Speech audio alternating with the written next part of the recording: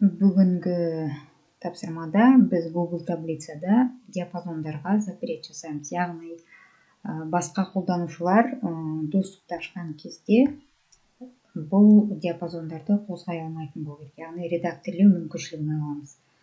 Жалпы доступ берген кезде настройка доступқа кіретін болсақ бұл жерде әр қолданушыға немесе кез келген адамға доступ берудің бірнеше түрлері бар.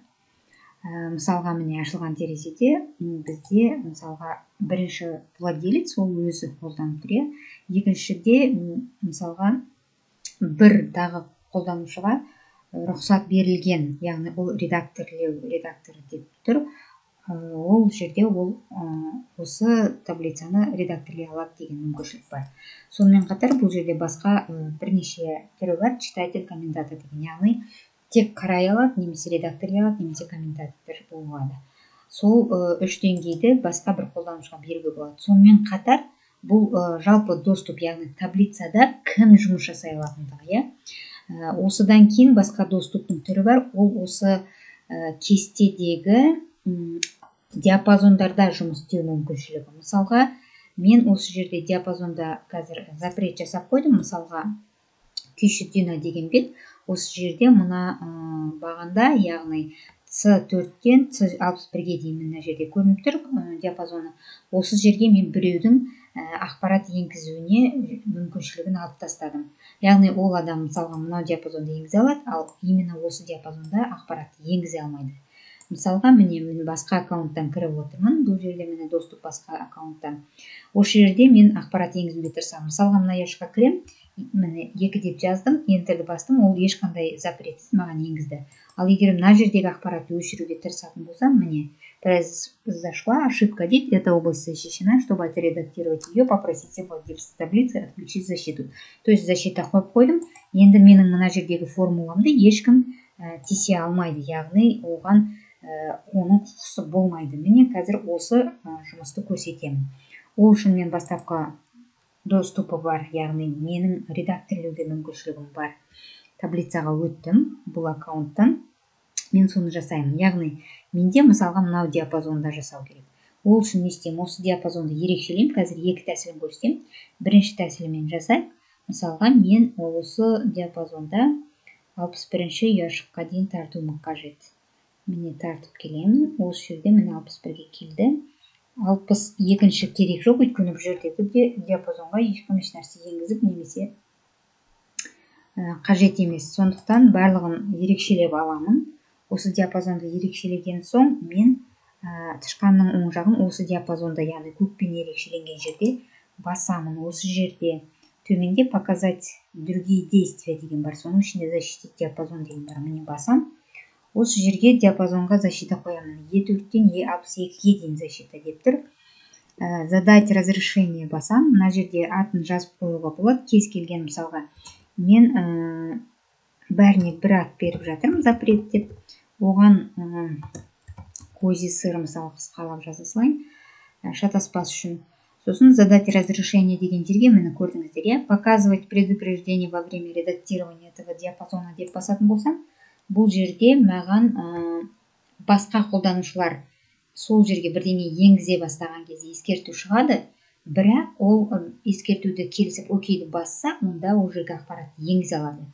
Олай болмас үшін мысалға мен оны мүлдем алып тастау керекпін. Алдымен осы бірінші вариантты көрсетейін показывать предупреждение во время редактирования этого диапазона. Готовыны басам әзірге осылай запрет қойдым.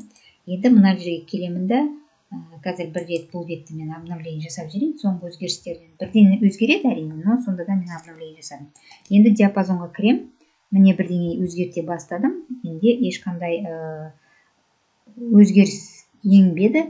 Және мына жерге маған мынандай сообщение шықты. Вы пытаетесь отредактировать защищенный диапазон деп продолжить деп сұрап тұр. Мен окейді басып жіберсем міне көрдіңіз ба? Менің енгізген бесімді енгізіп жібереді бұл ә, енді аз қолданушыларға және google таблицада жақсы жұмыс жасай алатын адамдарға арналған немесе төрт бес қолданушы ғана болса то есть жүз адамға қолдануға берген кезде бұл вариантты қою өте қауіпті. Өйткені кез келген окейді басып жіберіп байқамай даже ол автомат түрде басып жіберуі мүмкін иә сосын кейін түзетіп тастауы мүмкін. Сондықтан бұлай болмас үшін біз бірден басқа запретті қоямыз. Окей дедім мен қазір бұл жерде формуланы бүлдіріп тастадым. Сосын оны қайтадан орнына келтірдік дейік иә былай өзгертуді енгізуге енгізуге мүмкіншілік алып тұр. Ал енді мен қайтадан осы бетке келемін да бұл жерде басқа көремін. Мына жерде ә, запреттің басқа түрін қоямын. Қайтадан ол үшін осы диапазонға келемін. Міне запрет кс дейді. Осыны басамын. Настроить доступқа кіремін де мына жерде выбрать деп уже алып тастаймын. Өйткені бұдан басқа адамдардың оны істеуге мүмкіншілігі болмау қажет. Өйткені ол жерде формула тұр. Формуланы жойып жіберсе барлық таблицадағы есептеулердің барлығы өзгеріп кетеді. Расчеттар өзгермес үшін мен осыны запретті қоямын. Готовыны басамын. Изменение сақталды дейді. Диапазон только был изменен. Ескерту жасады. Хорошо. Енді мен қайтадан басқа аккаунттан кіріп тексеріп көремін. Міне сейз деп шығып тұр. Яғни ол кім? Запрет жасады. Енді міне бастым произошла ошибка. Енді бұл жерде маған айтады бұл жерде сіз ешқандай рұқсат ала алмайсыз оны редактировать ету үшін ә, владелецтен рұқсат сұрауыңыз қажет дейді яғни бұл жағдайда екінші жағдайда ешқандай да ә, редакторлеу мүмкіншілігі болмайды. Басқа диапазонда любой жерде ақпарат енгізе алады мына жерде перерасчет идет формулаға ештеңе өзгермейді. Бәрі дұрыс. Ол таблица формулалардың бәрі жабық тұрады. Ал енді қайтадан біз ә, бастапқы формулаға келейік. Мына жердегі запретті мен бірінші әдетпен көрсеттім. Қайтадан қайталап сол әдісті көрсетемін мен алдымен диапазонды ерекшелеймін.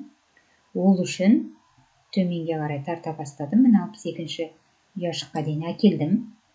Осының бәрін қойдым да оң жағын басамын. Оң жағы ол пкм иә тышқанның оң жағы. Осы жерден показать другие действия. Защитить диапазонды басамын осы жердегі диапазонға тағы да запрет қоямын мысалға запрет 3 дей салайын мен өйткені бірнеше запрет қоямын көп бағандарға. Осы әдетті жасай беремін. Задать разрешение деймін. Э, выбрать, кто может редактировать этот диапазон. Только вы и владелец таблицы дегенді қалдырамын готовыны басам міне осы жағдайда жасалды. Бұл жаңағы бірінші әдісті қайталап көрсеттім.